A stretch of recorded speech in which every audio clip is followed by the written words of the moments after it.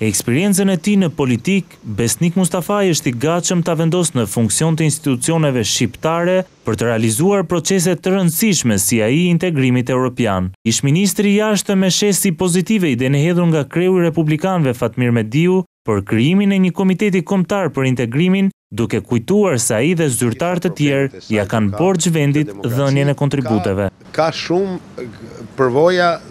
që që janë jashtë skenës politike, nga njerëz të cilët nuk kanë më ambicie për të marrë pushtet, siç është rasti rasti im, por besoj edhe i shumë të tjerëve si unë. Në këtë kuptim, këto përvoja ne nuk i kemi fituar në mënyrë private, i kemi fituar si shërbëtorë, si shërbyes të shtetit dhe ia kemi borxh këtij shteti, kësaj shoqërie t'ia vëmë në dispozicion këto përvoja për aq sa do të dëshirohen nga institucionet. Krijimi i një komiteti si ky që po flitet tani nuk do të ishte as dublim i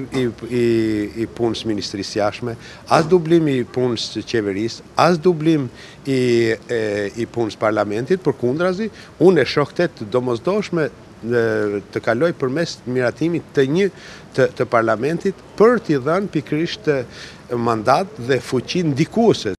është i bindur se me eksperiencën që ka bashkë me ish-ministren Arta Dade, do të reflektonin një konsensus jo vetëm për procesin e integrimit, por edhe në tërësi për politikën shqiptare e cila vijon të jetë në krizë. Unë dhe zonja Dade jemi dy ish-ministra të Jashtëm që kemi një përvojë të mbledhur gjatë viteve kur kemi qenë në shërbim të shtetit, pra në këtë kuptim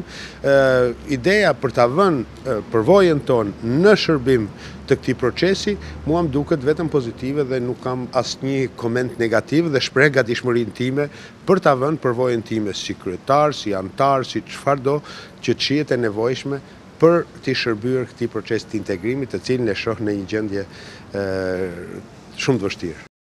Maxhorancës i kujton se një institucion i tillë vetëm do ta ndihmonte procesin e integrimit dhe kërkon që nëse një komitet i tillë do të ngrihet, të jetë me mandat ligjor nga parlamenti. Nuk është një komitet që do të shkonte kundër interesave të qeverisë, as kundër interesave të maxhorancës, as vetëm në interes të të opozitës, përkundrazi, ky edhe pse nuk është një një komitet në ide, në koncept, Një komitet apolitik është një komitet konsensual, pra në këtë kuptim ky do t'i shërbente pikërisht asaj çka synon qeveria, çka synon edhe opozita, çka dëshiron gjithë opinioni publik që do të thotë përshpejtimi i ritmeve